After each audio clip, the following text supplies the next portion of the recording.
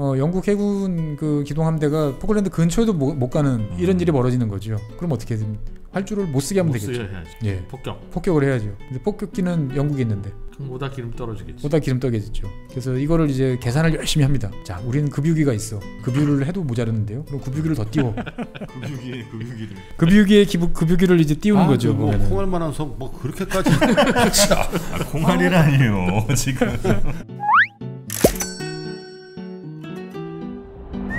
최준영 박사의 지구본 연구소 아르헨티나 5부가 시작됐습니다. 네. 우리 법무부인 율촌의 최준영 박사님 어서 오십시오. 네, 안녕하세요. 네. 일단 오늘은 방송 시작하기 전에 좀 어, 공지 어, 정정을 좀 드릴 게 있습니다.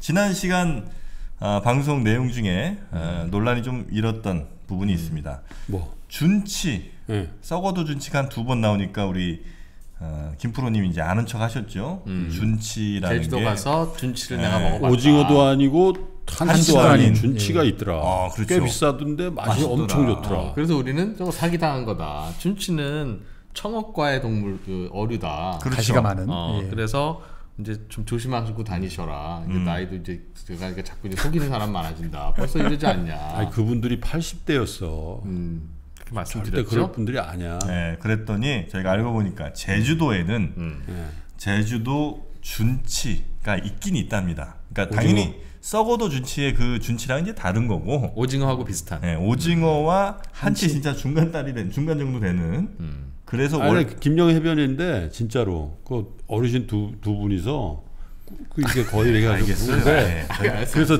네, 살, 살 솔직히 도닥도닥 약간 도와드리려고 좀. 도와드리려고 산, 산 거야. 근데 와이프하고 먹었는데 너무 맛있는 거야. 그래갖고 내 진짜 여보 내가 55세 54세 내가 알, 알았어. 썩어도 주치가 여기서 나온 거네. 합의를 봤다니까. 정정하고 있잖아요, 저희가. 네, 그래서 어, 물론 속담에 썩어도 준치는 그 준치는 아닙니다. 음. 그거 어떻게 알아? 아, 그거는 저 명확하게 나와 있어요. 그 준치 아니에요. 네. 그러나 어, 제주도에서는 오징어랑 비슷한 거를 준치라고 부른다. 음, 그럼 뭐 그럴 오해는 할 만했다. 제주도 어르신들이 나를 속였다라는 그런 막말을 하지 마시라니까 사람들이. 예, 제주도 명예시민 한번 나중에 되시고요. 오늘 굉장히 지금 중요한 얘기가 이제 나올 때가 됐습니다. 그 포클랜드 전쟁, 예. 아르헨티나와 영국의 1980년대, 82년에 있었던 그 전쟁에 예.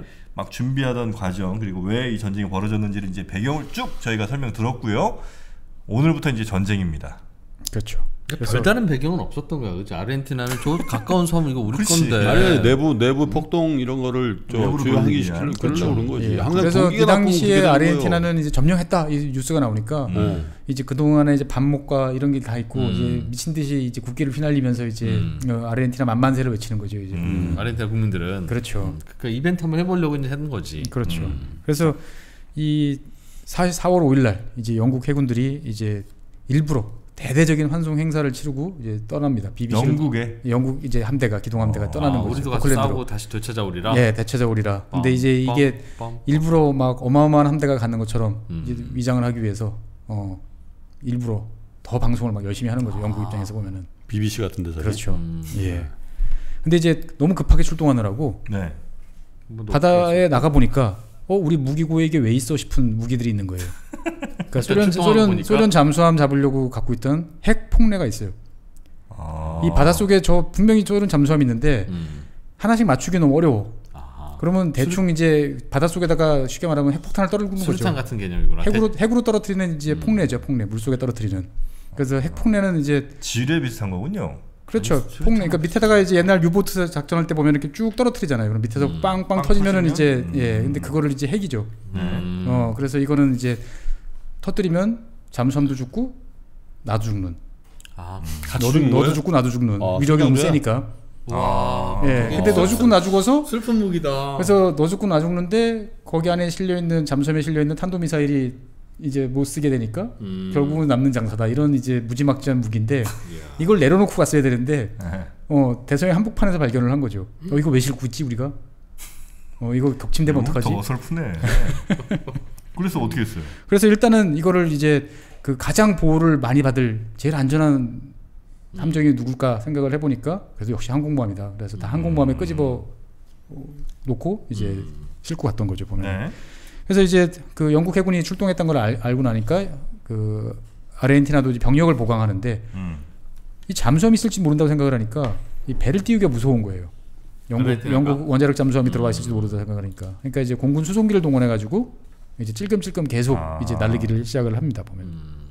그래서 영국이 생각을 해보니까 계획을 짜보니까 작전 시간은 90일 탈환에는 90일 정도 걸린다. 음. 음, 전체 아까 4천 명 정도가 이제 상륙을 시키면 음. 사망 사망률은 20%.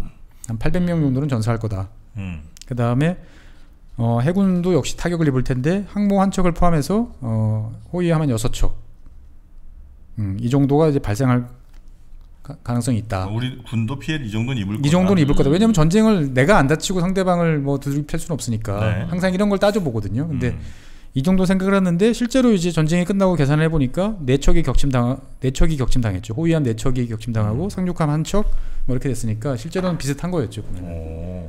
그래서 영국 해군이 제일 신경이 썼던 게 영국 어, 아르헨티나 뭐 해군의 순양함 이런 건 하나도 신경 무섭지가 않고 그 아르헨티나 해군 항공대하고 이제 공군이 가지고 있던 이제 그 슈페르 에탕따르라는 프랑스제 공격기 음. 음. 여기에 같이 세트로 붙어 있는 액조세 미사일 이 두 개가 이제 무서운 거죠. 음. 그러니까 원래 옛날서부터 배는 항상 큰 놈이 장땡이었어요. 어, 음. 작은 배랑 큰 배랑 싸우면 볼 것도 없이 큰 배가 이겨요. 그건 왜요? 왜냐하면 큰 배는 더 큰 대포를 실을 수 있기 때문에 아 멀리서 쏘- 더 멀리 쏠 수 있는 거죠. 음. 어, 우리가 뭐 150, 육군에서 기준으로 보면은 아, 뭐 8mm 105mm와 155mm는 거나 마찬가지구나. 하늘과 땅 차이듯이 음. 8인치와 16인치는 뭐 어마어마한 차이니까. 근데 큰 대포를 실으려면 배가 커야 돼요. 네. 그게 당, 당연한 상식이었는데 그러네. 이게 20세기 초반에 한 번 상식이 깨집니다. 이제 어뢰라는 게 등장을 하는 거죠. 음. 어뢰는 이제 그 대포처럼 큰 데서 나가는 게 아니고 물속에 던져놓으면 지가 쭉 달려가는 거니까 아, 아. 큰 배나 작은 배나 똑같이 실을 수 있는 거죠. 음. 거기다가 일반 대포로 쏘면은 한 포로 쏘면은 배 위를 맞아가지고 음. 맞춰가지고 격침을 시키려면 수십 발을 수십 돼, 한참 한참 맞아야 돼요. 어. 음. 근데 이 어뢰는 배 밑에를 음. 어, 수선하를 이제 때리는 거죠 보면은. 아. 어, 그 엄밀히 말하면은 배를 직접 맞춰서 뭐- 맞춰도 이거는 물 많이 들어오는 것도 있지만 그거보다도 배 밑에서 딱 터져요. 음. 그러면 여기서 물 속에서 터지기 때문에 우리가 목욕탕에서 방구 껴보신 분들은 아시겠지만 가스가 이렇게 나오잖아요. 그 순간 가스가 배를 이렇게 들어올립니다. 아. 네, water jet라고 저기 그 음. 그래서 이 가스가 배를 번쩍 들어올렸다가 음. 그럼 배가 이렇게 휘어지죠. 음. 그다음에 그럼 다시 무게로 이렇게 내려갑니다. 그럼 배가 다시 반대로 이렇게 내려가요. 그래서 반 쪼개지고 뭐 이러는 거군요. 그렇죠. 그래서 어뢰 한 방을 맞으면 음. 이제 그게 한 두 번 정도 반복이 되는 거예요. 이렇게 올라갔다가 내려갔다가. 이렇게 올라가면 이 배 허리라고 할수 있는 용골이 밑에 쭉 있죠 보면 네. 용골이 부러져요. 아. 그럼 배가 그냥 반이 뚝 쪼개지면서 가는 거죠. 그게? 그러니까 어뢰 한 방 맞으면 뭐 웬만한 배들은 그냥 한 방이면 격침이 돼요. 물, 물속으로 날아가는 미사일. 그렇죠. 근데 이제 따지면 큰 배 하나보단 작은 배 두 대가 오히려 더 낫겠네. 그렇죠. 그러니까 이제 그 네. 가난하고 작은 나라들은 이제 그 당시에 이제 어뢰정을 많이 썼어요. 20세기 초반, 뭐 중반 이럴 때 맞이 맞기만 하면 되니까. 네. 근데 문제는 이제 어뢰는 사정거리가 짧으니까 아, 각도 가까이 가야. 상대방까지 이제 육박을 해야 되는 거죠. 아. 역시 리치가 예. 그러다가 이제 1967년에 이제 그 예전에 한번 이스라엘 때 말씀을 드렸던 것 같은데 이제 항공기 아, 미사일이 대한 미사일이 등장하는 거죠. 조그만 배에다가 음. 이번에는 이제 어뢰가 아닌 미사일을 싣고 쏘니까 음. 미사일은 이제 초음속까지는 아니더라도 네. 어, 어마어마하게 빠른 속도니까 당시 배에 실려 군함에 실려 있던 무기로는 저거를 어떻게 격침시킬 격파할 방법이 없던 거죠. 배- 대포랑 비슷하네요. 어 그렇죠. 근데 이제 유도가 되고 아. 그 다음에 대포 한 발에 들어 있는 그, 예, 그 화약의 양보다 미사일 미사일에 있는 것들은 보통 뭐 적어도 180kg 음. 어, 탄두 무게가 뭐 무지막지한 놈은 한 500kg씩 되니까 미사일 쏠 수 있는 배. 예 맞으면 그냥 격침해 이것도. 생각해 보면 별거 아닌데 진작 그 미사일을 쏠지. 그게 그래서 이제 이스라엘의 에일라트라는 구축함이 이제 50톤도 안 되는 이집트 이제 코마 음. 고속정이 싣고 있던 스틱스 미사일에 맞아가지고 한 방에 격침 당하죠. 아. 그러니까 이제는 큰 배라고 무조건 안심할 수 있는 상태는 아닌데 네네. 이 미사일을 배도 아니고 비행기에다 실어서 쏘면 배 입장에서 보면 상대방을 보지도 못하고 그치 날라오는. 미사일만 상대해야 되는 음. 어 근데 미사일을 미사일로 맞추는 거는 예나 지금이나 어렵고. 예 쉽지 않은 어떤 그런 거죠. 음. 그러다 보니까 영국 항, 영국 해군은 이제 계산을 합니다. 이 해군 항공대 그 아르헨티나 음. 항공기가 날라올 수 있는 사정거리 기지, 기지로부터 컴퍼스로 거보면 대충 나오죠 이제 음. 그러면 여기서부터 미사일을 쏘면은 어디까지 날라올 수 있나 얘네도 돌아가야 되니까 음. 음. 어 근데 포클랜드 이 위치가 절묘했던 거예요 아르헨티나 공군기나 해군기가 날라오면 아슬아슬하게 잠깐 싸우고 돌아가야 되는 아르헨티나 본토에서 날아오면 그러니까 본토에서 날아오면 연료 때문에 그렇죠 연료 때문에 아. 중간에 공중급유를 한번 받아도 네. 어 되게 애, 아, 아슬아슬한 거리인 거리가 거죠. 예. 음. 그래서 영국 해군은 그 거리를 밖에 이제 있습니다. 예. 음. 그- 그래서 되도록이면 그, 아- 그 근처에는 잘 안 가려고 이제 아. 생각을 했던 거죠. 이제 야, 보면은. 오늘 방송은 국방 TV 같은데 납품을 좀 해야 되겠다. 너무 밀리터리야. 그래서 어쨌거나 아르헨티나도 이제 나름대로 창을 가지고 있었죠. 근데 창을 가지고 있는데 문제는 네. 양쪽 다 도대체 어떻게 찾지? 음, 서로를 예, 서로를 어떻게 찾지? 이제 음. 이 문제가 쉽, 쉽지 않았던 거죠. 보면은. 그래서 아르헨티나 같은 경우는 생각을 해보니까 자기들 초계기가 이제 단알가 빠진 뭐 넵튠, 뭐 트래커 이런 건 몇 대 있는데 이거 띄었다가 돌아올 수 있을까? 뭐 이 정도 될 이제 고물들이었던 거죠. 보면은. 그래서 생각도 못해서 이제 보잉 707 여객기를 동원합니다. 아르헨티나 예, 보잉 707. 네, 더 707. 멀리 날아가요 그건? 아니요, 이거는 이제 그렇죠 여객기니까 멀리 날아가고 음, 네. 그다음에 이제 그 기상 레이더라고 그러죠. 그, 음. 그 여객기에도 레이더가 있어요. 네. 앞- 앞쪽에 이제 그 기상 상태나 이런 것들을 이제 점검할 수 있는. 근데 뭐 이렇게 보면 하늘을 보지만 약간 밑으로 내려서 보면은 바다를 훑- 훑는 거니까 음. 충분히 큰 뭐 항공모함이라는 것들은 충분히 찾아낼 수 있는 거죠. 음. 그래서 이걸 가지고 이제 대서양을 훑, 훑습니다 보면은. 야. 보잉 707이 예. 그래가지고 이제 영국 애들이 오는 걸 알고 요격을 하려고 딱 나갔는데 어 비무장 민간 항공기. 민간인 저걸 추- 격추시켜야 돼 말아야 돼요. 어. 예, 그래가지고 이제 그냥 돌려보내니까 다시 또 날라옵니다 보면. 음. 은 그러니까 이번에는 이제 대공 미사일을 딱 조준을 하고 레이더 상에서 음. 네. 쏴야지 라고 생각했는데 영국 함대 사령관이 야 지도 갖고 와봐. 저, 선 그어봐. 음. 딱 그어보니까 이게 리우데자네이로로 일직선으로 연결되는 거예요. 음. 야 다시 확인해봐. 저거 저번에 떴던 그 보잉 707 맞아? 음. 브라질 거 아니야 이거 그렇죠. 브라질. 브라질 항공사의 DC-10 여객기였던 잘못 잘못 쏘다가는 깜짝이네. 이제 완전히 아, 그 경- 가끔 이제 그 한 두 차례 있었죠. 여객기를 잘못 격추시켜가지고 음. 난리가 난. 어, 만약에 영국군이 그거 쏴가지고 격추시켰으면 아, 영국이 게임 졌겠다. 영국 해군 그냥 거기서 돌아봐야 돼요 다시. 그냥. 민간 예, 민간 뭐 항공기 200명 격추시켜서 죽었다 200 이거. 몇십 명 사망시켰으니 뭐 이런 아, 거니까. 아, 브라질 또 화나면 무섭지 거기. 음. 예? 그치. 그러면 이제 브라질 아르헨티나 연합군이 만들어지면 골치 아픈 거죠. 그래가지고 이제 영국이 고민을 하다가 스위스 대사관을 통해 가지고 아르헨티나한테 경고를 합니다. 한 번 더 날라오면 우리 격침시킨 저기 추락 아. 격추시킨다. 아, 민항기. 예, 민항기라도 이제는 음. 음, 경고를 하니까 이제 물러서는 거죠. 대충 알았어요. 영국 해군이 어디쯤 왔다는 어디쯤 어느 정도 오고 있다는 걸 알았고 음. 이 와중에 여- 영국은 고민을 해보니까 제일 신경이 쓰이는 게 그 포클랜드 제도에 있는 활주로가 제일 신경이 쓰이는 거예요. 음. 여기에 여- 만약에 아르헨티나 친구들이 음. 이제 전투기를 배치를 시켜놓으면 여기까지 날라온다. 바로 코앞이니까 음. 어, 영국 해군 그 기동함대가 포클랜드 근처에도 못, 못 가는 음. 이런 일이 벌어지는 거죠. 그럼 어떻게 되면 활주로를 못 쓰게 하면 못 되겠죠. 쓰게 해야지. 예, 폭격. 폭격을 해야죠. 근데 폭격기는 영국에 있는데 음. 그러면 8천 마일이면 만 몇천 킬로를 그보다 기름 떨어지겠지. 보다 기름 떠게졌죠. 그래서 이거를 이제 계산을 열심히 합니다. 네. 자, 우리는 급유기가 있어. 음. 음, 급유를 하면 돼. 급유를 해도 모자르는데요. 그럼 급유기를 더 띄워. 음. 어, 그럼 되긴 하는데 그럼 급유기의 기름이 급유기의 떨어지는데요. 그러면 또 급유기를 더 띄워. 급유기에 급유기를 급유기의 기부, 급유기를 이제 띄우는 아, 거죠. 그뭐 보면은. 콩할 만한 성뭐 그렇게까지 아, 콩알이라니요 지금 뭐뭘 그렇게까지 해? 예? 자기네 나라 딴 거 아닌 것 같은데 대충 하지. 급유기도 급유를 받아야 날라오니까. 그렇죠. 그게 또 급유를 해야 되고. 예. 그래가지고 이제 그 영국 본토에서부터 날라오려면 너무 무리니까 음. 중간에 이제 어센션이라는 섬이 있어요. 영국하고 포클랜드 사이에 휴게소 어. 같은 이제 섬이 하나 있는데. 그래 그래 서 섬이 필요하구나. 예. 그래서 이 섬이 이제 옛날 나폴레옹 때 이제 잠깐 써먹다가 음. 이제 잊혀진 섬이었다가 이제 2차 세계 대전 때 미국 친구들이 영국 애들한테 여기 공항 만들면 좋을 것 같은데 음. 라고 해서 영국이 그러세요 라고 해가지고 미국이 이제 공항을 이제 활주로를 건설하고 네. 미군이 쓰고 있었던 거죠. 어. 소유권은 이제 영국 땅이니까 자기 땅이니까 네. 여기서 여기서부터 이제 가면은 포클랜드까지 6,400km예요. 6천 갈만하다. 또 멀다. 예, 그래가지고 여기다가 이제 차곡차곡 하나씩 보내는 거죠. 폭격기도 보내고 급유기도 아. 보내가지고 아. 세트를 만들어가지고 보냅니다. 그래서 한꺼번에 출동시키려고. 그렇죠. 그래서 폭격기가 가다가 고장나면 골치 아프잖아요. 그래서 네. 폭격기 예비기가 잡혀 폭격기를 두 대. 음. 그 다음에 이 두 대의 급유를 하는 급유기 11대를 띄웁니다. 그러니까 아까 아, 말씀드린 폭격기가 것처럼 네 대인데 급유기가 폭격기는 두 대. 폭격기는 두 대인데 예, 급유기는 11대를 띄우는 거죠. 급유기가 먼저 가서 이렇게 딱 순서대로 기다리고 있는 거죠. 그러면 이제 어. 날라오면 계속 급유를 해주는데 거기까지 날아가던 급유기는 또 기름이 떨어지니까 그렇지. 어 그러면 다른 급유기한테 그, 그 기름을 받아가지고 가야 되는 거죠.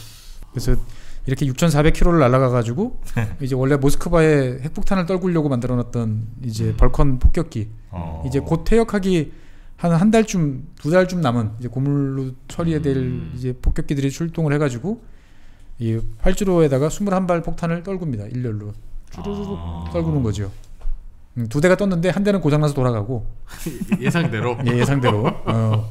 이게 그 5월 달이었는데 5월 1일 날이었는데 6월 말일자로 이제 다 퇴역 처분하기로 다 확정돼 있던 아. 비행기들이었어요. 어. 그러니까 이제 고장나기 딱 좋았던 거죠. 근데 21발이나 떨궜는데 음. 딱한 발, 딱 한 발이 맞았어요. 활주로에. 활주로에 활주로 가운데 딱 맞은 거죠. 뭐 이렇게 원래 엉망이네. 그래요? 원래 그래요? 예? 원래 그래요? 아니면 뭐 쉽지 않아요. 활주로를 맞추는 게 이- 아, 이제 그래요? 그러니까 요즘에는 우리들이 다 스마트 무기를 쓰잖아요. 음. 딱 유도해 가지고 정확하게 핀포인트로 맞출 수 있는데 이 당시만 해도 그런 무기들은 미국만 가지고 있었거든요. 아, 대충 뭐 이렇게 이렇게 그러니까 그냥 떨어뜨리거나. 쭉 가서 우르르 떨구는 거죠. 감으로 예, 감으로. 그래서 일렬로 쫙 떨구고 나서 이제 구멍이 뽕뽕뽕뽕 뚫렸는데 음. 운이 없으면은 활주로 좌우로만 열심히 뚫어놓고 지나갈 수도 있는 건데 음. 그러니까 23발이나 떨어, 떨어뜨렸는데 아. 본인 나름대로는 이제 딱 활주로 길이에 따라 잘 갔다고 생각했는데 활주로에 직각으로 투하시켰는데 한 발이 맞았던 거죠 이제. 음. 그래서 활주로가 딱 절반으로 주니까 이제 그래도 어쨌거나 뭐 몇백 킬로씩 되는 폭탄이 떨어지고 나니까 아, 파이 가운데가 파이 엄청나게 파이는 거죠. 그래서 이제 뭐 중장비가 있어야 되는데 당시 이제 중장비를 동원할 수는 없으니까 포클랜드에 있던 아르헨티나군이 아, 비행기 못, 그렇겠네. 비행기 못 뜨는구나. 그렇죠. 또. 전투기는 못 뜨는 거죠. 그런 이제 제트기는 음. 뜰 수가 없는. 그래서 일단은 성공을 음. 이제 하면서 이제 그 한수, 한수, 한숨을 이제 돌린 상황이 됐고 그 와중에 이제 그 아- 영국 해군은 아르헨티나도 잠수함을 보냈을 거라고 확신을 합니다. 음. 음, 왜냐면 이제 그 1대1로 맞서기는 힘들면 잠수함이 제일 좋으니까. 그래가지고 낌새를 탐지를 했어요. 탐지를 했는데 10시간 동안 막 그 대잠 헬기를 총동원해가지고 어뢰도 쏘고 폭뢰도 떨어뜨렸는데 결국은 격침시키는데 실패하고 아르헨티나 잠수함은 유유히 이제 빠져나왔어요. 음. 음. 근데 이제 못 잡은 가장 큰 이유 중에 하나는 당시 영국이 갖고 있던 이 어뢰나 이런 것들이 다 영 그 소련 그 해- 원자력 잠수함을 잡으려고 되게 비싸게 만들어 놓았던 거예요. 그러니까 음. 수량이 제한돼 있다 보니까 함부로 쓰기가 힘든 거죠 이제 보면은 조심조심 쓰다. 조심조심 쓰다 보니까 이게 아까워서. 이제 그래가지고 이제 이 포클랜드 전쟁이 끝난 다음에 영국 해군이 이제 골머리를 싸맨 게 싼 무기를 찬 아. 아낌없이 뿌릴 수 있는 이게 저는 완전 one side 게임인 줄 알았어요. 뭐 영국이 완전 그냥. 아 그렇지 뭐- 않습니다. 아, 이게 그렇지가 않네 보니까. 아르헨티나- 나 영국 이긴 것도 신기했는데 나는. 아르헨티나 아, 어, 공군 그 먼 나라에서 아르헨티나 공군기와 해군기들은 정말 용감하게 싸웠습니다. 어. 예, 영국 영국군도 인정했어요. 다 나중에 전쟁 끝나고 만나가지고 깍듯하게 경례 붙이고 음. 어 정말 처절하게 열심히 싸웠다라는 걸 인정하는데 어. 그래서 어쨌거나 이제 미국 아 저 영국 해군이 이제 포클랜드 제도 근처까지 네. 예, 도착을 해서 여기서 이제 해리어기를 띄워가지고 음. 이제 아르헨티나 공, 그 음. 군들을 이제 공격을 하기 시작을 합니다. 이때 이제 당연히 아르헨티나기도 이제 전투기를 보내가지고 음. 공중전이 벌어지는데 음. 이 해리어기는 수직으로 이착, 이착륙할 수 있는 장점이 있지만 속도가 느려요. 아. 초음속이 아니에요. 네네. 수직 이착륙 하나 하려고 많은 걸 포기. 많은 걸 포기한 거죠. 보면 네, 많은 걸 포기했어요. 그러니까 네. 원래 해리어기가 떠, 이, 만들어진 가장 큰 이유는 전쟁이 났을 때 소련이 미사일과 막 어마어마한 공, 그 화력을 쏟아 부으면 영국 음. 본토에 있는 활주들은 이제 반나절 만에 초토화된다. 음. 그럼 반격할 수단이 없으면 어떻게 해야 되냐? 아. 그러면 여기저기 해리어기를 숨겨놓으면 된다. 어. 어, 그러면. 고속도로에서 뜨고 어. 어, 동네 뒷길에서 뜨고 오. 네, 이런 컨셉으로 만들어놨던 거예요. 그랬구나. 그래서 전투를 벌이는데 네. 어떻게 어떻게 하다 보니까 속도가 빠른 초음속 전투기인 그 미라지 전투기를 이 해리어기가 격추시키는 영국의 해리어가. 예 어. 속도가 훨씬 느린, 느린 놈이 속도가 빠른 이제 그 어. 이런 일이 벌어져요. 이게 가능했던 이유는 네. 상대방한테 전념을 해야 되는데 아르헨티나 공군기 입장에서 봤을 때는 눈이 자꾸 연료계로 가는 거예요. 음? 연료계로. 왜요? 포클랜드까지 날라는 왔는데 여기서 내가 싸울 수 있는 시간이 아. 이제 한 3, 4분에서 5분 내외인 싸고 거예요. 돌아가야 돼. 기름. 예. 돌아가야 되는 거예요, 보면은. 아. 그러니까 이제 자꾸 이제 뒤통수가 뜨끔뜨끔한 거죠 이제 보면 돌아가야 되는데 돌아가야 되는데 이제 보면은 그러다 보니까 이제 집중을 못 했던 어. 예 그러니까 아르헨티나 해군도 이제 드디어 그러면 우리도 한번 음. 해보자라고 해서 미드웨이 전쟁을 한번 치러보고 싶었던 거죠 미드웨이 음. 해전 같이 우리도 항공모함을 띄워서 음. 항모 대 항모, 항모로 한번 싸워보자 네. 음. 그래서 이걸 이제 함, 함대 항공전이라고 그러는데 네. 분명히 해군끼리 싸우는데 배는 서로 못 봐요. 응? 비행기만 왔다 갔다 하면서 이제 멀리 떨어져서 싸우는 거를 이제 함대 항공전이라고 하는데 아, 본토에서 날라오면 기름 떨어지니까 그렇죠. 그러니까 음, 항공모함 예, 항공모함 항공모함이 서로 비행기를 띄우면 항공모함 서로 가서 상대방 항모로 공격하는데 움직이는 섬이니까. 정작 그 항모를 비롯한 이 배들은 상대방 군함을 구, 구경도 못 하는 거죠 보면은. 그래서 출격 시키려고 했는데 네. 이 아르헨티나 항공모함에 실려 있던 이 비행기들을 띄울 수가 없는 거예요. 왜? 또 왜? 이 캐터폴트가 힘이 약한 거예요. 아 밀어주지를 못하는 예, 거예요. 힘이 약한 데다가 예. 하필 바람이 안 불어. 바람이 좀 불어줘야 되는 예, 거죠. 그래서 미국 영원이에요? 비행기. 어 지금도 미국 항모도 항상 그 바람을 쫓아서 이리저리 다닙니다. 아, 바람이 마음에 안 들면 바람을 맞바람을 못 맞아야 돼요. 아 그렇죠 맞바람 맞아야 맞바람을? 맞아서 바람이 네, 이제. 끊임없이 이렇게 뜨면서 아. 그 뜨기가 훨씬 쉬워요. 맞바람이 불면은. 그래서 공군이랑 얘기하니까 좀 편하시죠? 예. 예, 여기 역- 육군 뭐 이렇게는 좀 아마 대하기가 쉽지 않으시죠? 그래서 이 A4라고 이제 예 스카이호크기를 사- 만들려고 그랬는데 띄우려고 그랬는데 어쨌거나 띄울 수가 없는 거죠. 그래서 이제 일단 딱 한 번 시도하고 포기. 버린다 그냥. 예. 아르헨티나 해군은 사실 이제 한 번씩 try 해보고 이제 아, 무서워서 안 되겠습니다. 그러고 이제 꼬리를 내립니다. 뭐야 항공모함 항공모함 있어도 이 모르모를 이게 근데 실전 경험이 한 번도 없어서 좀 그런 거예요. 그렇죠. 왜냐면 이제 동네 동네 이제 그 저기 뭐야 이렇게 자기들 위세를 세우는 용으로 이제 주로 활용했던 음. 거다 보니까 이제 좀 관리가 잘 안 됐던 정말. 쓸 일이 있을 줄은 정말 몰랐습니다. 그렇죠. 그래서 이 와중에 이제 아르헨티나에서 제일 큰 구- 순양함이라는 네. 게 있었는 순양함 이제 해- 그 벨, 벨그라노라는 순양함이 있었는데 이거 음. 원래 미국에서 만들었던 오래된 배인데 이 배를 이제 영국의 핵잠수함이었던 이제 콩커러가 네. 이제 어뢰 한 발로 아, 한 발은 아니고 두 발로 격침시켜 버립니다. 아르헨티나의 아르헨티나 순양함을 순양함을 예 여- 영국 그 원자력 잠수함이 어. 어뢰 두 발로 격침을 시켜버려요. 순양함은 무슨 용도의 배예요? 순양함은 말 그대로 cruiser죠 cruiser.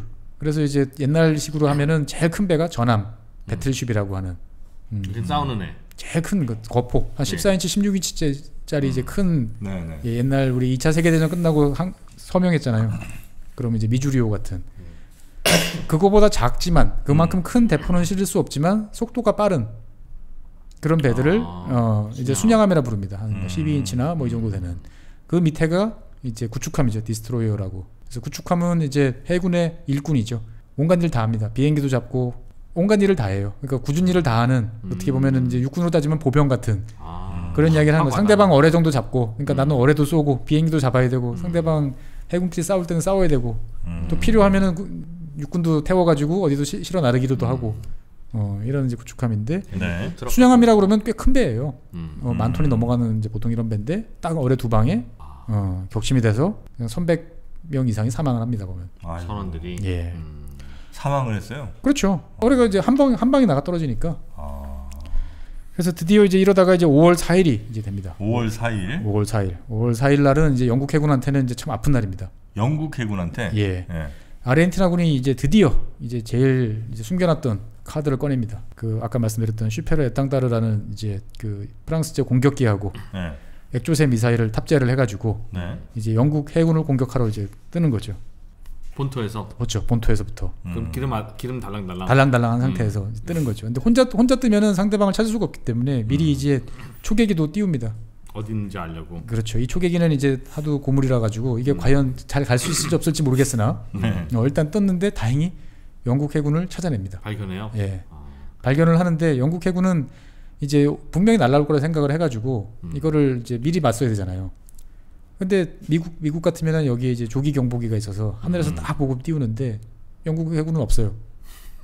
그러면 이제 방법은 하나밖에 없는 거죠. 레이더를 가진 배를 레이더 음. 피켓함이라고 그러는데 저 멀리다 보내는 거예요. 네.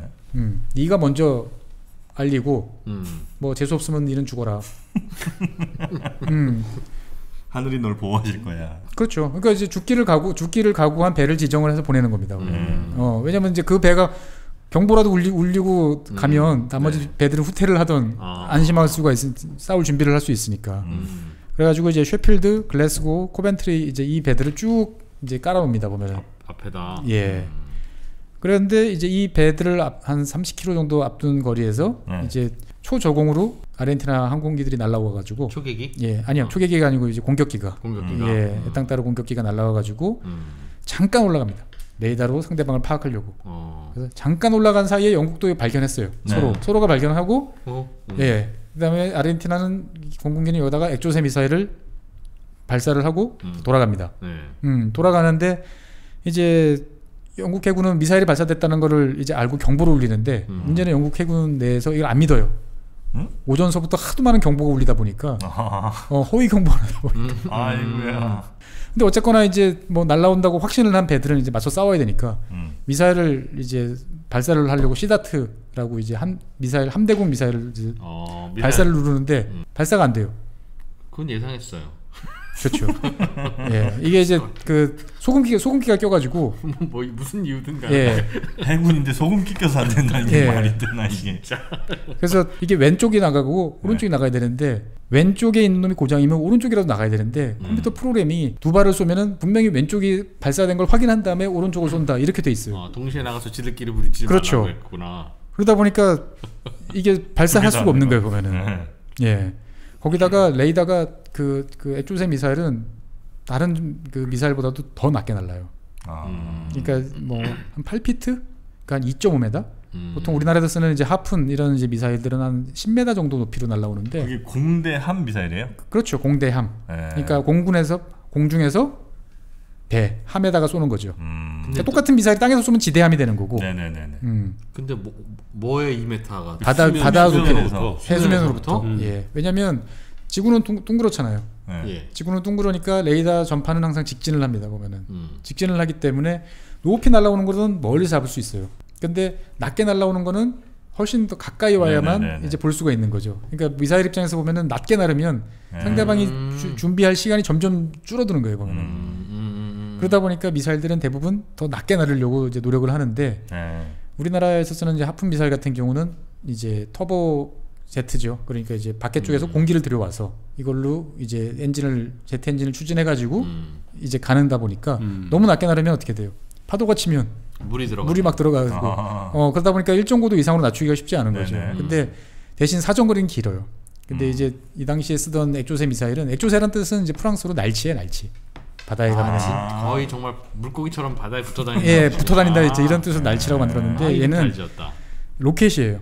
음. 그러니까 산 그러니까 공기를 흡입하지 않아도 안에 있는 음. 자기들 이제 산화제가 있어가지고.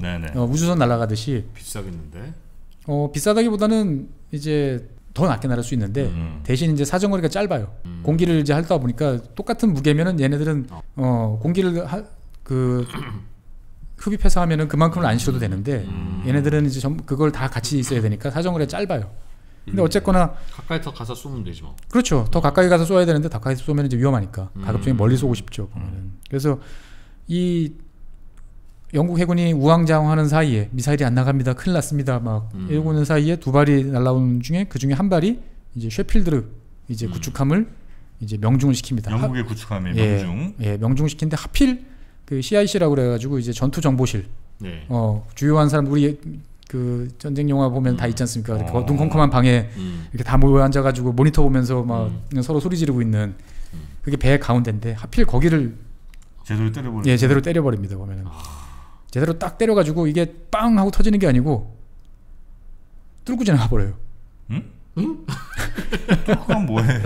아니 거기 터져야죠. 이게 원래는 꽝 하고 충돌이 된 다음에 이제 0점 몇초 음. 약간 시간이 지난 다음에 폭발하도록 예. 지연 신관이 돼 있어요. 왜냐면 네. 그래야 배 가운데서 탁 터지는 거죠. 그렇지. 음. 근데 이 액조세 미사일의 신관이 별로 신뢰성이 없어가지고 어, 작동을 안 한 거예요. 엉망이구나. 그래가지고 대폭을 맞았는데 건물에 그냥 딱 대폭만 그럼 그 철퇴 철퇴 맞은 거네. 철퇴 맞은 그러니까 거. 아 제가 잘 말씀 잘못드렸는데 뚫고 가진 않고 음. 그냥 배 가운데 퍽 떨어진 거죠 이제 보면은. 박힌 그러니까 거예요? 철퇴 아니야 철퇴. 그렇죠 여기는 구멍이 나고 배 음. 가운데 이게 이제 덩그러니 이제 미사일이 이제 찌그러져 가지고 들어온 거죠 이제. 보면은. 큰 화살이네 그러면. 그러니까 철퇴. 그렇죠. 그러니까 말 그대로 이제 그 아, 위치에 이제. 속도 에너지로 이제 그 운동 에너지로 밀어붙인 거죠 이제 보면은. 근데 문제가 어디서 생겼냐면은 이 로켓이잖아요 로켓. 네. 이 안에 있던 연료들이 아직 그대로 많이 남아 있던 거예요. 음. 그래서 얘네들이 맹렬하게 불이 타기 시작을 합니다. 음. 정작 앞에 있던 탄두는 멀쩡히 있는데 뒤에 엔진이 막 불타오르기 시작을 해요 보면 이 로켓 엔진이.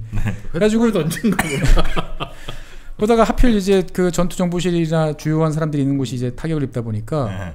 이게 이제 어떻게 수습을 못 하고 음. 결국은 며칠 동안 이제 불이 타버렸구나. 불타고 있다가 이제 5월 4일인데 이제 5월 10일 날 결국 이제 격침이 되는 거죠 이제 보면은 불이 계속 타다 타다 계속.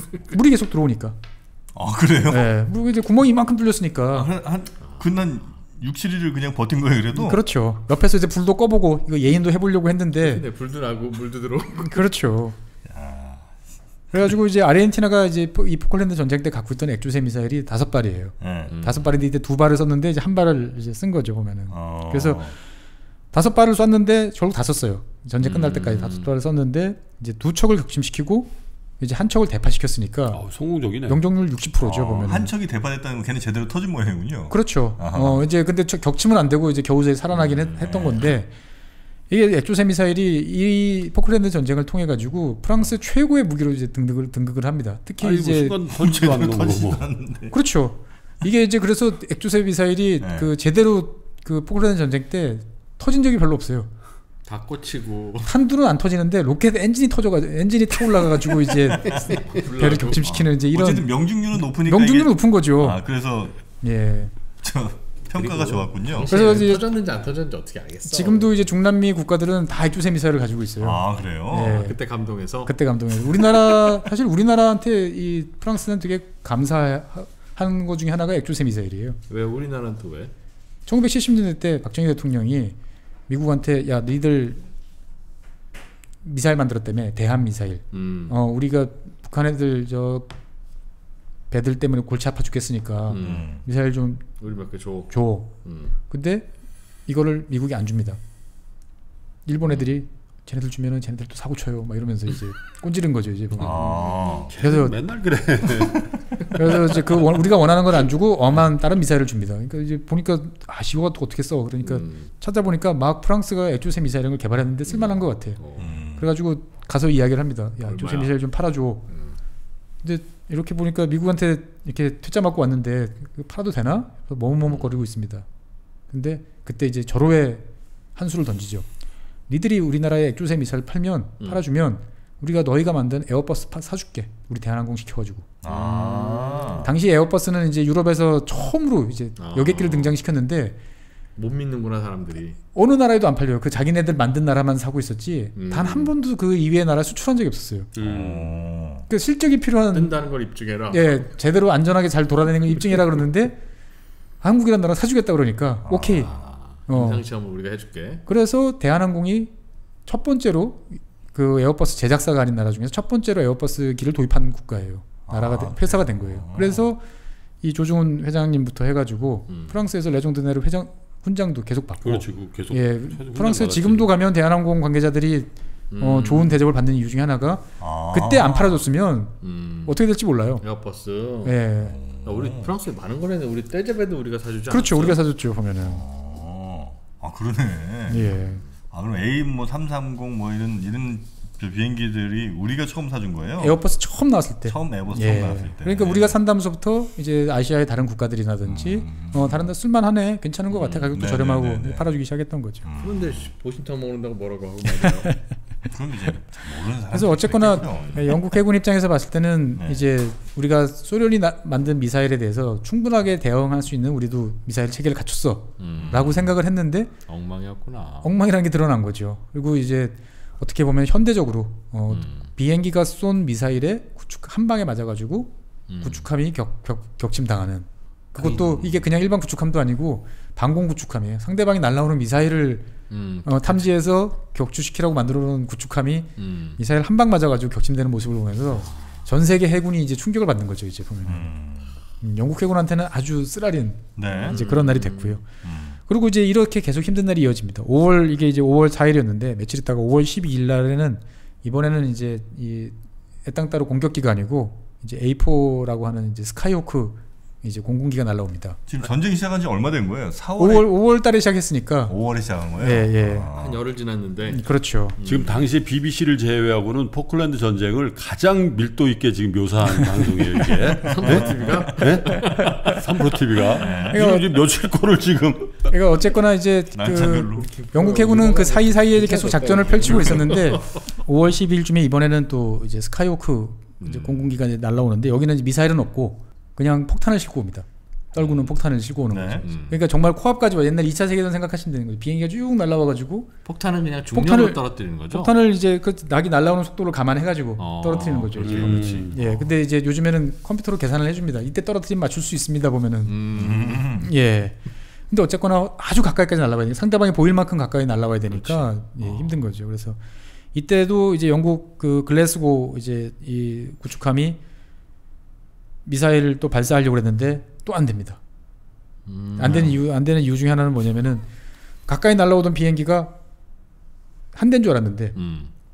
레이더가 한 대인 줄 알았는데 두 대로 탁 나눠진 거예요. 네. 아 숨어왔구나 뒤에서. 그렇죠. 예. 근데 사람들은 알고 있어요. 저두 대가 날라오는 것 같아라고 어. 하는데 이 바보 같은 컴퓨터는 한 대가 갑자기 두 대로 딱 되니까 음. 격파. 그러니까 저기다가는 조준할 필요 없음. 아 깨졌음. 깨졌음. 이래서 미사일이 안 나가는 거예요. 이제 보면은 아르헨티나는 그거 알고 아니요 그런 건 아니었고요. 보면은 우연히 그렇게 했는데. 우연히 그렇게 했는데. 그래서 이 영국군이 갖고 자랑하던 미사일 중에 시다트라는 미사일은 사정거리가 길어가지고 음. 멀리서 안전하게 때려 맞출 수 있다 생각했는데 이놈이 안 되는 거예요. 음. 아 그걸로 쏘려고 하고 있었는데. 예, 그러니까 옆에 있던 이제 구축, 다른 구축함이 갖고 있던 시울프 단거리 미사일을 쏴가지고 음. 운이 좋아서 네 대 중에 세 대를 이제 어유. 예. 네. 날라오는 비행기를. 의기양양하게 이제 맞췄는데 음. 다시 또 좀 있다가 네 대가 또 날라옵니다. 음. 또네 대가 네 날라오는데 폭탄을 떨궜는데 바다에 한번 튕겨서 해, 옆구리를 강탈을 하는 거죠. 물수제비를 떴다고요? 그렇죠. 그 원래 네. 물수제비 띄워요. 음. 아, 폭탄을. 예, 왜냐면 위에서 떨궈서 맞추려고 그러니까 음. 힘든 거예요. 잘 안 맞아요. 요만하게 있는 요 연필 같은 놈을 그렇지. 위에서 떨어뜨려서 맞추기 쉽지 않은 거잖아요. 음. 그러면 그나마 높이는 게 배가 이렇게 있으면 이쪽 방향에서 이렇게 그렇지. 가다가 세게 그렇지, 날아가다가. 딱 어. 떨어뜨리면 딱 떨어뜨리면 이놈이 물 위에서 통통통 튀어가지고 그래. 어 맞으면 훨씬 맞다. 공략은 그렇게 하는 거야. 예. 어. 그래서 띄워서 딱 던졌는데 배 옆구리를 강탈을 해서 뚫고 들어갔는데 음. 안 터져요. 또 안 터지고 반대편을 뚫고 바다로 떨어져 버립니다. 구멍을 냈구나. 구멍을 내버린 거. 자고 한 투포 아니야 뭐 계속. 예, 그러니까 그렇죠. 이게 폭탄을 예. 우리는 생각해서 딱 맞으면 당연히 터져야 생각하지만 예전에 우리 연평도에서도 음. 이제 그 북한 애들이 이제 로켓 쐈잖아요. 네. 절반 이상이 안 터졌어요?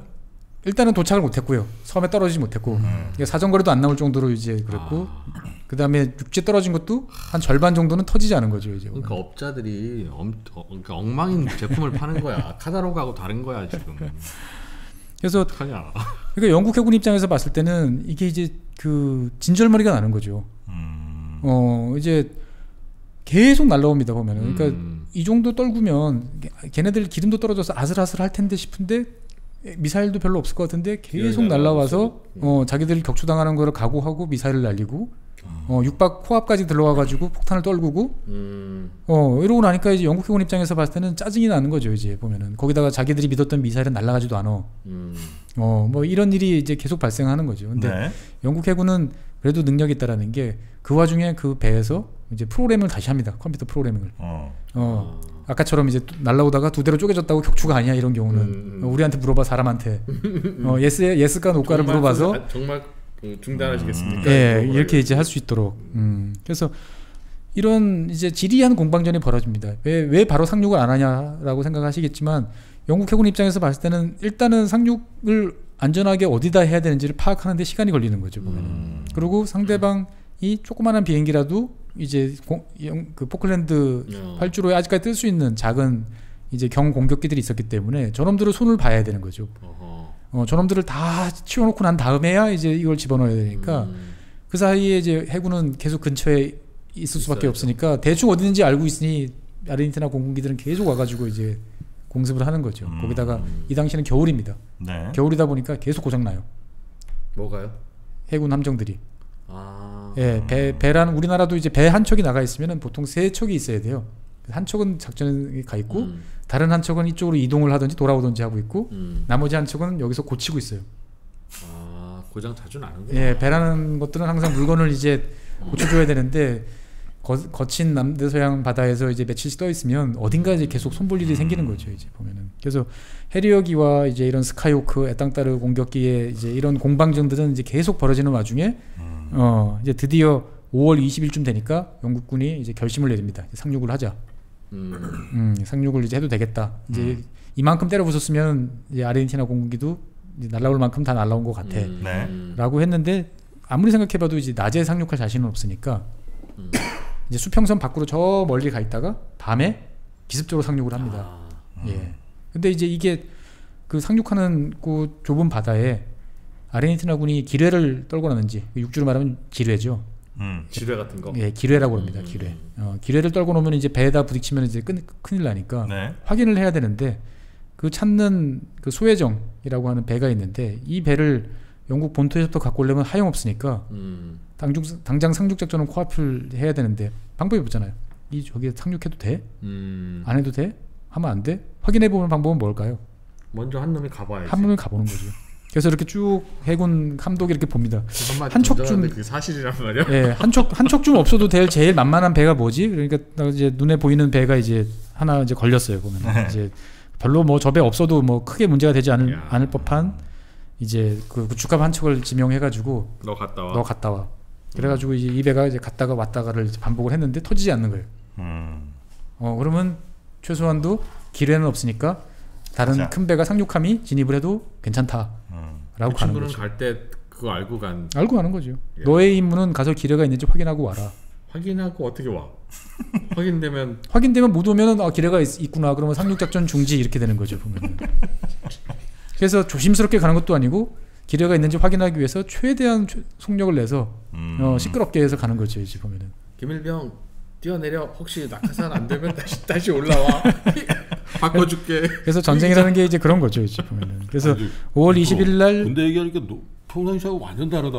그게 뭐 근데 뭐 추억이 좀 있으신 모양이에요. 그러니까 음. 뭐, 군대에서 뭘 했는지 내가 모르겠는데 군대 엄청 좋아하는데. 사실 저희 중에 제일 편한 군생활 하고 오신 걸로 알고 있습니다만. 편한 편한 군사 생활은 제가 했죠.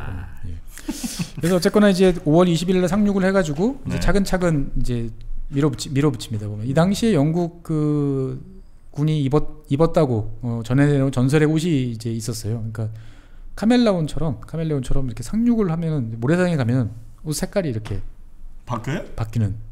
어 근데 이제 뭐 우리가 카멜라 완벽하게 바뀌는 건 아니고 음. 그래도 어느 정도 이제 위장이 그런 식으로 이제 되는 음. 사람 눈을 속일 수 있는 어. 어 이제 이게 맞냐 그러냐를 그런 소식이 들렸는데 꽤 오랫동안 이제 소식이 이제 막 진위 여부가 안 가려졌는데 어 나중에 보니까 사실이더라.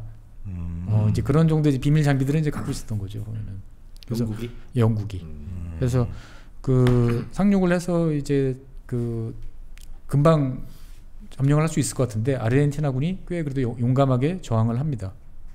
음. 예, 이제 차근차근 전진을 하는데 실제로 어, 대부분 지역을 점령하는데 한 일주일 이상 걸려요. 음. 섬 위에서 섬 위에서 이제 점령을 점령을 네네네. 해서 상, 이제 하나 차근차근 이제 점령을 하는 거죠 보면. 은 네. 본토에서 안 왔어요 아르헨티나 육군은? 그러니까 올 수가 추가 증원은 좀 했, 지만 아, 이제 영국, 영국 한, 한 2만 명대로 넣지. 영국 영국 해군이 주변 지역을 지키고 있으니까 아, 배로 못 대. 대량의 이를테면은 뭐 중화기 뭐 음. 155mm 뭐 이제 화기라든지 곡사포라든지 이런 거 뭐 탱크라든지 할수 이런 거를 없- 보낼 수가 없는 거죠. 끼케봐야 음. 몰래 이제 수송 수송기로 이제 아, 알, 음. 알보병들은 이제 집어넣을 수 있지만 음. 음, 그 이상은 이제 할 수 없. 활주로도 깨졌으니까 또 그렇죠. 그러니까 네. 쉽지 않았던 거죠 이제 보면은 거기다가 영국 해군이 주변 지역을 이제 점, 이제 포위를 하고 있다 보니까 이 사람들은 이제 영국 아, 아르헨티나 군인들은 이제 배고프고 음. 춥고 음. 어뭐 이런 보급이 이제 중단돼서 이제 상당히 어려웠지만 그래도 용감하게 이제 싸우고 있었죠 보면은 그래서 네. 영국군이 상륙했다는 거를 이제 확인한 이제 아르헨티나군은 이제 마지막 남은 힘을 다 쥐어, 쥐어 짜가지고 이제 5월 25일 날 이제 마지막 남은 액조세 미사일 두 발을 이제 다시 또 발사를 합니다. 음. 음, 그 미사일 예, 그 미사일을 발사를 했는데 한 발이 이제 항공기, 그러니까 헬 헬기를 이제 실어 나르려고 했더니 이제 항모가 부족하니까 음. 그 컨테이너 운반선에다가 음. 헬기를 이제 채워놓고 있었는데 아르헨티나가요? 영국이 영국이. 영국이? 어. 예 하필 이 이제 수송선에다가 이제 액조세 미사일 명중을 해서 격침을 시켜버리는 거죠. 헬기가 잔뜩 들어있는. 예, 헬기가 잔뜩 들어있는. 음. 많이 갖고 왔네 영국은. 그러니까 이제 없는 살림에 닭딱 긁어서 갖고 왔는데. 한 방 딱 맞을 때마다 배한 척씩 격침당하죠. 그 안에 있던 것들 다 가라앉죠. 어. 그러니까 영국 해군 입장에서 봤을 때는 이게 만약에 빨리 안 끝나고 5월에 안 끝나고 6월, 7월까지 간다 생각하면 음. 이제 아찔해지는 거죠. 이제 없네 보면. 진짜. 예. 그래서 영국군도 이제 고민을 했던 게 그냥 상륙을 시킬까 아니면 섬이 두 개라고 그랬잖아요. 음. 아르헨티나군이 있지 않은 저 옆쪽 섬으로 상륙을 해가지고 음. 거기다가 불도저를 동원해서 빨리 어, 참호도 만들고. 아니 활주로를 만들고 음. 어 이런 거기서. 이제 해리역이 말고 우리 본토에 있는 이제 팬텀이나. 이런 애들 좀 데리고 오면 어떨까? 막 이런 네네. 생각까지 하는 거죠 이제 보면은. 그래서 이런 와중에 어쨌거나 일주일이 지난 5월 28일 날 대부분의 지역이 점령이 이제 끝나고 6월 11일 날 최후의 방어선이 이제 붕괴되면서 아르헨티나. 아르헨티나가 이제 두손 들고 이제 항복을 하는 거죠 보면은. 그래서 이렇게 끝났군요. 예, 그러니까 제가 뭐 이거를 말하려면 몇 편씩 뭐, 뭐 음. 되, 긴 하는데 간단하게 요약을 정리하면 뭐 대충 이 정도 이야기를 하는 거죠. 그러니까 네네. 서로가 우발적으로 어떻게 보면 시작을 했다가 음. 음, 이 남대서양 끝쪽에서. 어. 남극 가- 가까운 바다에서 이제 처절하게 싸웠던 거죠 보면은. 음. 그래서 전쟁의 결과로 보면은 영국군은 258명이 사망하고 네. 아르헨티나군은 650명 정도가 사망을 했습니다. 통계마다 음. 조금씩 다른데 자관 뭐 합해 보면은 1000명 좀 안 되는 이 젊은 목숨들이 이제 사라진 거죠 이제 보면. 네. 그리고 아르헨티나는 이 패전을 가지고 처음엔 속이려고 했으나 음. 이 국민들을. 예. 음. 아 우리가 이겼다고? 예. 최소한 지지 않았다고 이제 알리고 싶었으나 음. 영국 국민 어, 아르헨티나 국민들도 열심히 BBC를 듣고 있었거든요. 근데 BBC 방송이 얼마나 참 이 무서운 방송이냐면 음. 아주 공정성을 99% 이야기를 해요. 아, 그러니까 저- 전세가 불리할 땐 불리하다고 불리하다고 아. 이야기합니다. 그래서 액조세 미사일에 맞아서 음. 어, 우리 셰필드 구축함이 어, 격침됐다. 어. 라는 거를 그냥 방송을 해버립니다. 그래서 사실 아르헨티나 이 해군은 아르헨티나 군은 우리가 쏜는 쐈는데 맞은 거 맞았는지 BBC를 보고 어 이게 격침이 됐는지 알 수가 없어요 보면은 어. 왜냐면은 그 먼 데까지 전과를 확인한다는 건 또 누군가 또 가서 음, 그 위험한 되니까. 짓을 해야 되는데 어. 할 여력이 없었던 거죠 이제 보면 음. 헤드업을 안 했구나. 근데 맞았대 어 우리 이거 잘 맞네 그러고 나중에 영국도 영국도 생각해 보니까 아, 이러 이러면 상대방한테 알려주는 거네 싶어서 어. 어, BBC에도 요청을 합니다 보면은 아, 우리가 불리한 건 이야기도 되는데 그렇게 구체적으로는 하지 마라. 하지 말아주세요. 음. 어 그렇게 이야기를 할 정도였는데 네. 어쨌거나 패배했다는 걸 알고 이제 아르헨티나 국민들은 이제 다시 분노를 터뜨리는 거죠. 이제. 음. 음, 수백 명이 사망을 하고 어, 이기지도 못할 전쟁을 왜 했느냐.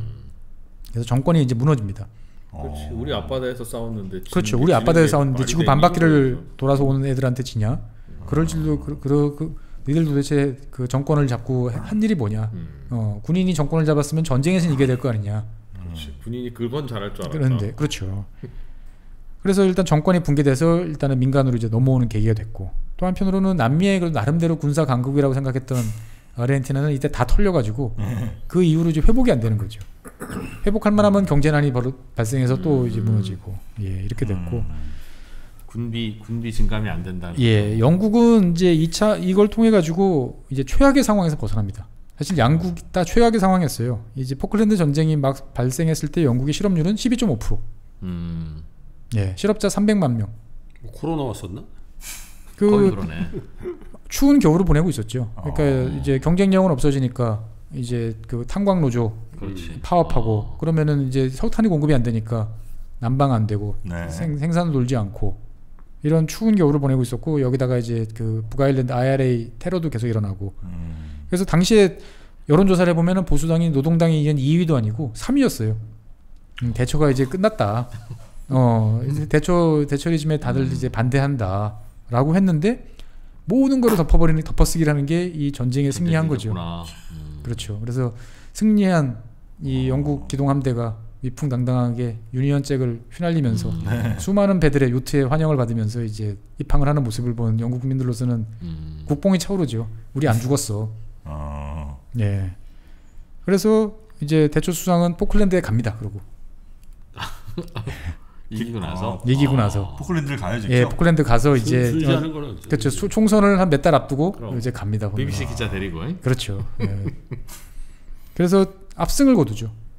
어, 유리 없는 아. 압승을 거두고 그 다음에 있던 두, 두 차례 총선에서 계속 이기면서 네. 이제 보수당 정권이 한 10년 동안 1980년대 내내 영국을 지배를 하고 아르헨티나가 은인이네. 그러면서 이제 대처리즘, 대처리즘이 이제 쫙 깔리는 거죠. 신자유주의가 깔리면서 많은 영국 사람들이 그 전까지의 삶과 다른 삶을 살 수, 살아가도록 이제 바꿔놓는 게 어떻게 보면 음. 이 포클랜드 이야기가 됐던 거죠.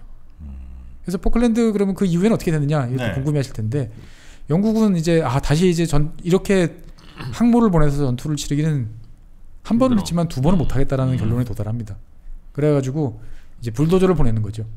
어, 활... 그래가지고 활주로를 아주 깨끗하게 밀어버려요?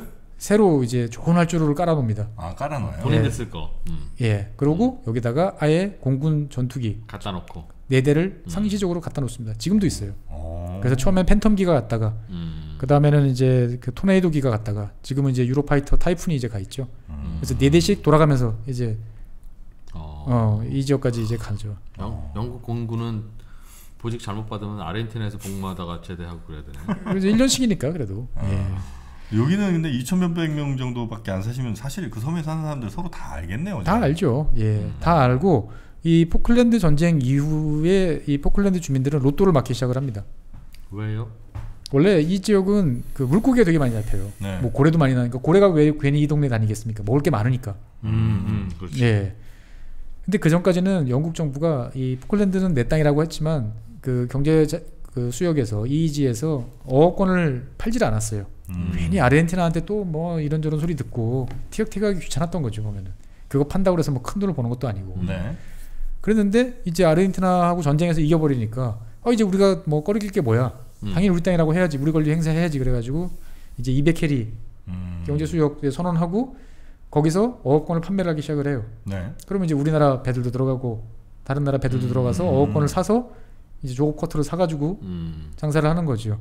그럼 영국은 이제 그 돈을 뭐 본토에 갖고 오는 것보다 야 그냥 포클랜드 니들 알아서 쓰세요. 오. 예 이렇게 된 거죠. 그러니까 갑자기 그 어업권을 판매하기 요만한 섬에 그 주변 200해리면은 어, 해리라고 그러면 좀 잘 모르실 텐데 1.8km 정도니까 음. 어 그러면은 이제 한 360km 300km? 예 원형이니까 되게 넓죠. 그러네 거의. 예. 그래서 어업권 판매로 2015년 기준으로 보면은 1인당 소득이 7만 8천 불이에요. 7만 8천이요? 예. 영국 본토가 이제 한 4만 불, 그럼 두배 되네. 두 배 되는 거죠. 그래서 세금도 다 없어지고요. 오히려 이제 기본 소득 나눠줍니다. 보면. 아 그래요? 네. 와. 좋네 여기. 네, 좋죠 보면은. 그래서 여러분들도 이제 이 방송을 들으시는 분들도 다음번에 이제 어디 분식집 이런 데 가시면 네. 이제 원산지 표시를 잘 보세요. 그러면 이제 오징어, 어, 포클랜드. 포클랜드 이렇게 적혀 있는 경우들이 어, 종종 아, 있습니다. 네. 저도 음. 이 오늘 녹화하기 전에 이제 밑에 내려가서 볶음 덮밥을 하나 먹고 왔는데 아, 거기 예 네. 중국 스타일. 아니요 여기 이제 분식집 있지 않습니다 떡볶이 네네네. 팔고 하는 이제 아, 마포 분식. 마포, 예 마- 거기. 갔더니 오 포클랜드 산이네 하필 아 그래요? 그래서 우리와 어, 나름대로의 또 인연도 있는 섬이라는 점을 네. 말씀드리고 싶습니다. 잡아서 거기서 잡아서 지구 반대편이 야, 그러니까 한국까지 그게 온다는 경제성이 있나? 왜? 지구 반대편에서 갖고 오는 거 많지 않습니까? 홍어, 페루, 칠레, 칠레. 예. 한 번간 많이 갖고 오니까. 그 전 세계 생선은 다 우리나라로 오고 있습니다. 세네갈 갈치, 네네. 어, 모리타 모리타니산 그 문어, 음. 어디 문어? 모리타니, 그 모리타니, 아프리카, 어. 예. 세네갈에서 나는 갈치. 음. 그 마트에 가서 잘 원산지 표시 보시면은 전 세계 생선은 다 한국에 와서 어, 끝을 고생하는 보는 끝을 보는구나. 그 말은 세네갈이 갈치 잡아서 전 세계로 수출한다는 뜻이에요. 아니면 우리가 그만큼 많이 갈치 거지. 누가 수입해 우리나라 되니까 먹지. 아, 다른 나라 국민들은 갈치 잘안 어, 먹어요. 세계에서 우리나라가 그 맛있는 거를 안 먹어. 어, 저기 수산물 소비량 1위입니다. 예. 갈치는 딴 나라에서 먹는 거 못 봤어요. 그러니까 이 동해안에 들어오는 물고기들이 세상에서 제일 불쌍한 물고기예요. 우리가 1등이고 2등이 우리나라 진짜 또 어느, 정도로 먹는 줄 알지? 실치 알 실치? 예. 실치? 예. 실치 알지? 알죠 알죠. 그게 솔직히 실치 회를 먹어요. 이렇게 떠서. 어? 아 국수 좀 이렇게 그냥 그럼 국수 먹듯이. 아 그거 그 아니, 뭐 잔멸치만 봐도 그 저거 언제 털고 있냐 이런 생각이 들지 않습니까? 그걸 다 먹어버려. 음. 뱅어포죠 뱅어포. 예. 아 아, 그래 그다 말려서 그러니까 이제 먹지. 세계에서 생선을 제일 많이 먹는 1, 2위 나라 사이의 바다가 동해지 않습니까? 그 일본 한국이 그렇다면서요. 예. 아유, 그 안에 있는 물고기가 정말 제일 또 다양하대요, 진짜. 미안하다. 많기도 그래서 많아요. 고놈들이 동해 그 고놈들이 맛있어요. 왜냐면 막 피해 다니라고 이게 근육이 생겨가지고 응? 아주 텐텐해지. 방송 듣는 물고기 애들 생각도 좀 해주세요. 어쨌거나 아. 오늘 이제 두 편에 걸쳐가지고 네. 이제 포클랜드 전쟁, 야. 뭐 military 아, 방송을 이제 했는데 BBC를 능가하는데. 자 그러면 아르헨티나는 이 포클랜드 전쟁으로 이제 딱 한번 정리가 된뭐 건가요? 이 정도 이제 해서 마무리를 뭐 지을까 아니면 최근에 이제 자꾸 부도 국가 부도 사태가 연달아 그래, 그 얘기도 좀 그거 한번 또 경제 또 아. 팟캐스트니까 또 그거 한 번 정도는 더 해야 되지 않을까. 아, 국가고. 근데 지금 댓글을 보니까 하여튼 브라질 안 하면 용서하지 않는다 이런. 아 브라질 브라질 진짜 궁금한 게 많죠. 브라질은 채권 좀 투자분들이 많아서 그러니까 브라질 가기 전에 좀 썰렁한 나라를 좀 한 번 더 어디요? 다녀오면 아, 나라는 아니고요. 남극? 남극에 한 번 좀어 다녀오면 어떨까. 남극. 그 남극도 뭐 할 거 있어요? 얘기 들을 게 있어요? 음. 펭귄 살고 하얗잖아. 어, 재밌는 춥고. 재밌는 이야기도 있고요. 우리나라랑 어. 얽힌 이야기도 있고 네, 슬픈 이야기도 있고. 네. 자 그럼 저희가 그거는 이제 댓글 한번 분위기 봐가면서 네네, 그러시죠. 우리 최 박사님의 선택을 남극을 먼저 갈 건지 브라질로 바로 넘어갈 건지. 아, 아르헨티나. 브라질 브라질로 자꾸 이렇게 아, 밀어붙이시는데 겁납니다 보면 브라질 내가 볼 때 한 3주는 해야 될 거야. 브라질. 자, 오늘도 지구 반대편 아르헨티나 특히 아르헨티나 옆에 있는 포클랜드 섬에서 일어난 전쟁 아주 상세하면서도 흥미롭게 전해주신 법무법인 율촌의 최준영 박사님 대단히 고맙습니다. 네 감사합니다. 감사합니다.